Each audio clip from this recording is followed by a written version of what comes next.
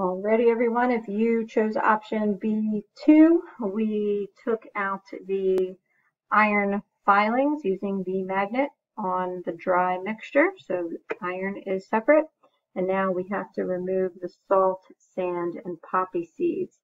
So this option, the second option, is to use a little bit of water and then pour the mixture in, the remaining mixture into the water. Stir, stir, stir with my stirring rod. And what we see is the poppy seeds are floating. So we're going to carefully remove the poppy seeds. And this tends to be a little difficult to do and you have to do it very quickly because the poppy seeds tend to get waterlogged and then sink and then you have a really tough time separating them. So we're going to take out as many of the poppy seeds as possible using my spoon.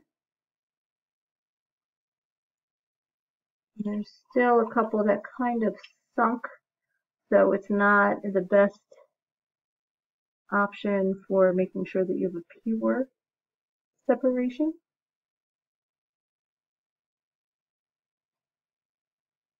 And then of course you have some water in with your poppy seeds, so you can try to carefully pour some of the salt water because the salt dissolved and kind of dump it in poppy seeds behind. And then what we're going to do is take a piece of filter paper and I'm going to fold it in half one time. Oops, I have two pieces here. To fold it in half one time and then a second time. It makes a little quarter.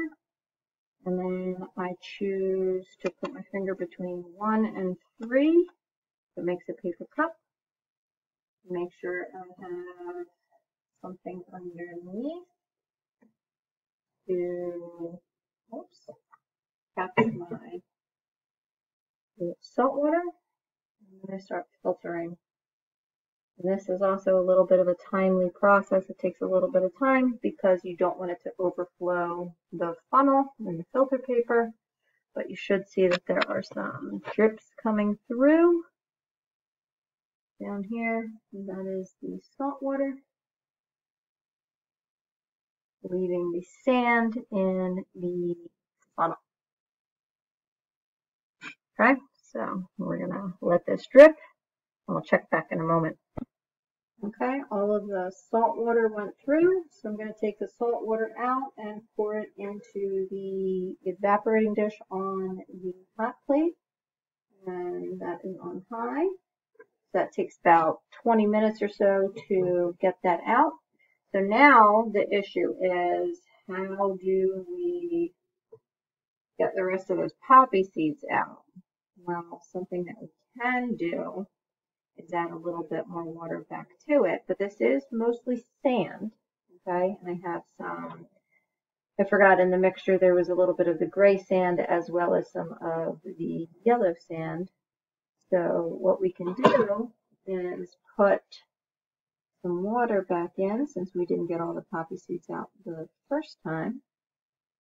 And then what we can do is kind of swirl it around and pour off the water with the poppy seeds.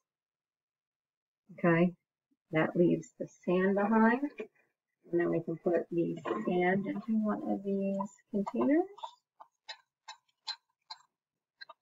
There's our sand.